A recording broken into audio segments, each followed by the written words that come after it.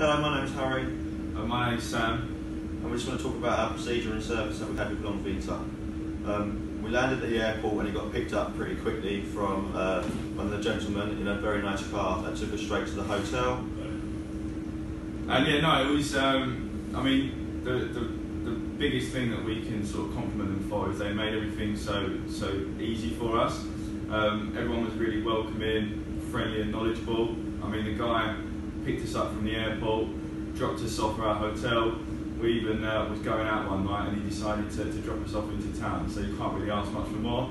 Um, but even the doctors, I mean, everyone's so knowledgeable.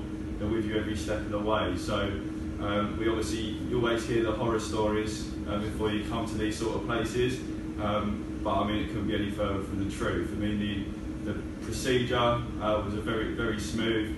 Um, it was I'd say it was uncomfortable, but it wasn't painful. I mean everyone says how sort of how much it hurts, but to be honest with you, they look after you so well that you're out of there before you know. So.